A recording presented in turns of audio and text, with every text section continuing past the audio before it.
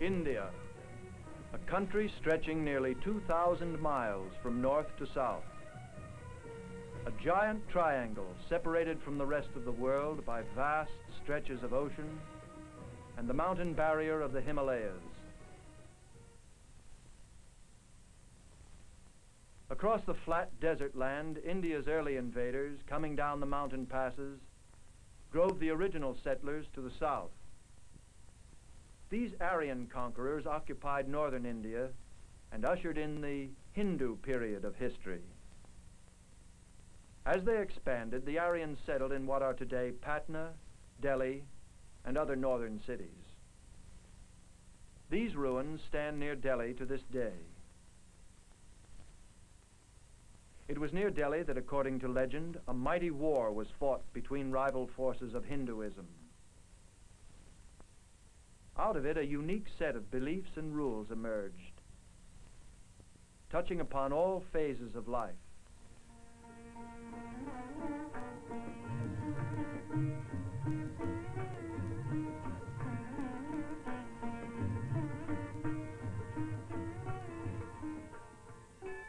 These sculptures are ornaments only, not images of the religion's founder. Hinduism has no one founder, no one set of doctrines. A Hindu may choose his own personal god or an incarnation of it in human or animal form. Many animals are sacred in the Hindu religion because of association with gods. One god whom Hindus honor is Hanuman, a monkey who befriended Rama. Rama was an incarnation of Vishnu, born on earth as a great hero. The descendants of Hanuman are sacred. They are fed and protected in temples. Hinduism teaches discipline and self-denial. These holy men practice discipline and self-denial. The Hindu believes that life on earth is temporary and is preceded and followed by an indefinite series of lives. Only full knowledge can bring release from this cycle of rebirth and lead to unending bliss. To achieve it, many Hindus believe that the body must be disciplined. Some use pain and self-torture for this purpose. Staring into the blinding sun, sitting for hours and for days in a difficult posture, standing, kneeling, perching in tortuous positions, praying night and day, repeating the name of God over and over. Such are some of the methods of discipline used by the Hindu holy men who concentrate in holy meditation.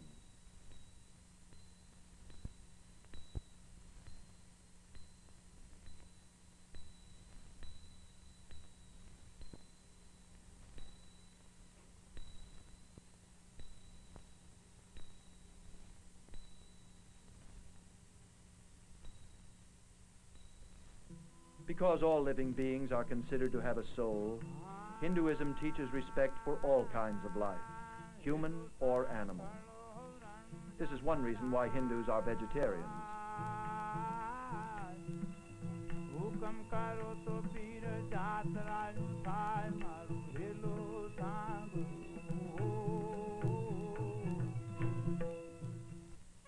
Throughout India, imposing temples stand witness to the deep religious feeling of the Hindu. To Hindus seeking religious knowledge, individual well-being and possessions are unimportant. And so a great part of the Hindu creative genius has turned to religion. Each of the many forms of the Supreme Being to whom all Hindus pray has its temples and its worshippers. Brahma, Vishnu, Shiva, and the numerous forms and incarnations of these gods are rendered in stone.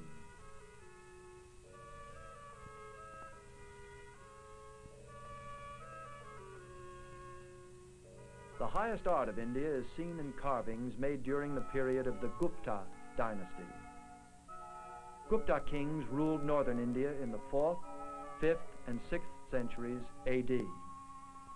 And under the Guptas, some of the greatest masterpieces of Indian art were created. Although it lasted less than 300 years, it is considered the classical age of India's culture. After the 8th century, new waves of invaders swept down on the plains, burning, fighting, pillaging.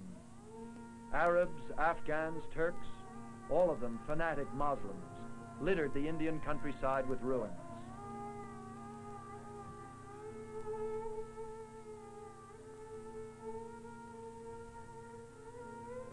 Among the wreckage stands this wrought iron column of one of the Gupta kings as a reminder of the short glory of this proud Hindu dynasty. Not far from it, near Delhi, a Moslem Tower of Victory was erected, made of carved red stone and rising 238 feet above the ground. It symbolizes the might of the Moslem conquerors.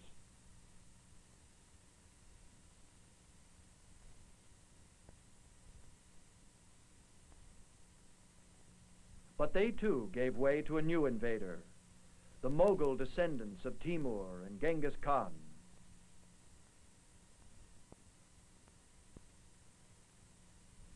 To this day, the landscape of India is dotted with beautiful mosques, palaces, and tombs, which the Mughals and their descendants built in conquered India. And as they ruled, they spread the teachings of Mohammed, teachings basically different from those of traditional Hinduism. The simplicity of the Mughal architecture stands in vivid contrast to the ornate designs of the Hindu temples a contrast as deep as the division between the Hindu and the Muslim religions. Several of the Mughal emperors brought unity and stability to India. Some were tolerant of their Hindu subjects.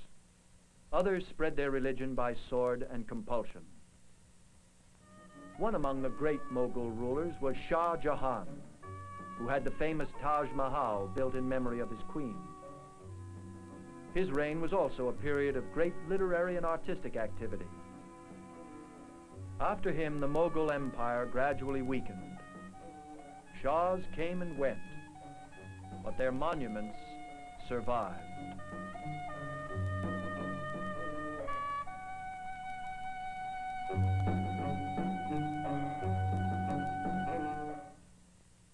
At the end of the 15th century, other outside forces came to India, this time by sea. As sea routes became safer, trading companies from Europe founded outposts on Indian soil. By the beginning of the 19th century, the British East India Company had established itself as the strongest among them.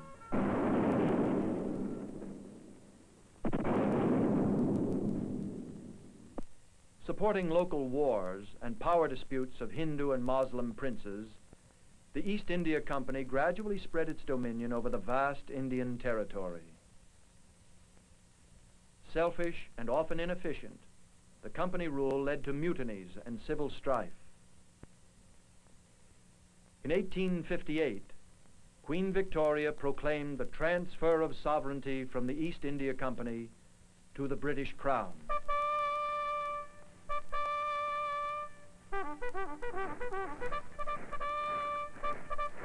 Princes and princelings signed treaties with Britain, whose queen became Empress of India. 200 years of British rule have left an indelible mark on India. The English trained large Indian armies in a mixture of Indian and European style. Britain governed part of India directly through British governors, and the rest through Indian princes, known as Maharajas or Nawabs. Now that India is a republic, these princes have lost their power. The Durbar, an annual assembly in which the prince's chief subjects paid homage to him, no longer can be seen in the cities of India. Here we see the last Durbar of the Maharaja of Alwar.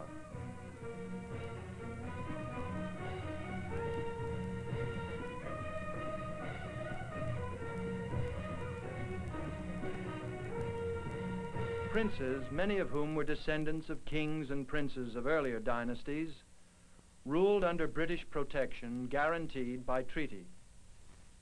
Their power and position depended entirely on the British. Indian princes gave allegiance to the British crown just as their own noble subjects gave allegiance to them. Now all this splendor and pageantry are gone, and the Indian Durbars are fading into legend.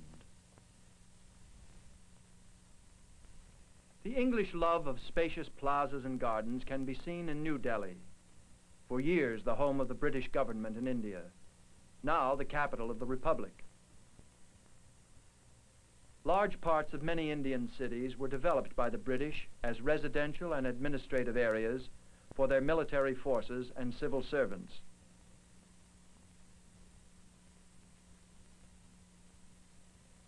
But a large part of Indian life was not changed by British rule. Life went on and still goes on just as it has for centuries. Most Indians live in small villages like this one. Here, using simple tools that have not changed in hundreds of years, they live off the soil.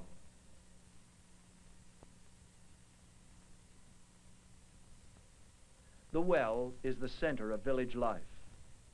In a land as hot and dry as India, an abundant supply of water is vital.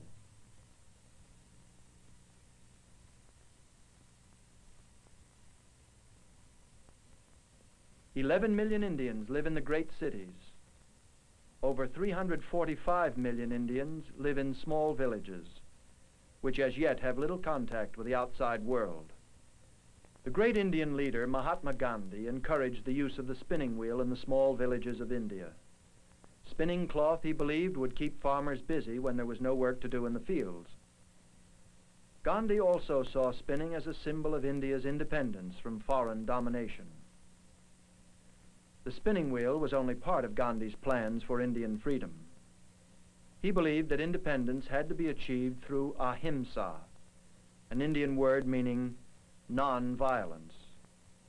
He taught resistance to Britain by non-violent means. In groups small and large, Indians of every class discussed and planned their non-violent fight for freedom.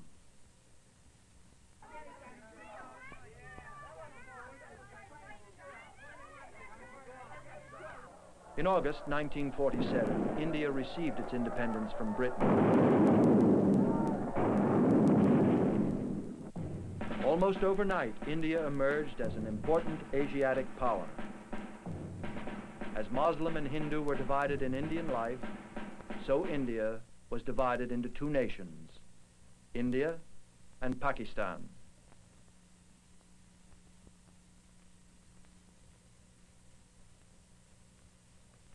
In order to ensure the progress all India is looking forward to, more teachers and schools are needed. Universities all over India are filled with eager young students, anxious to improve the lot of the millions of their fellow citizens who can neither read nor write. The new India is confident that it can govern itself, combining the best of Western technology and ideas with their own heritage, molding the two together into a new Asiatic democracy, which will carry them forward to a position of respect and leadership in the free world.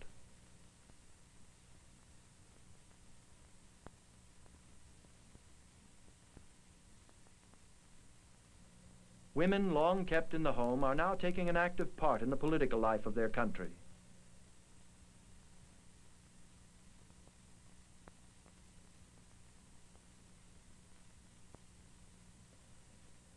The days of colonialism are over, but the memory of its power and of its influences are still evident.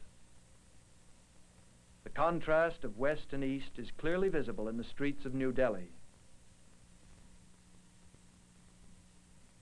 Kipling said, East is East and West is West, and never the twain shall meet.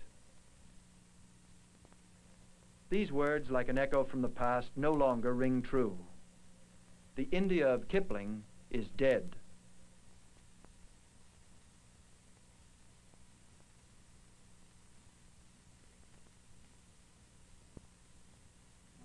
Now East and West are meeting every day.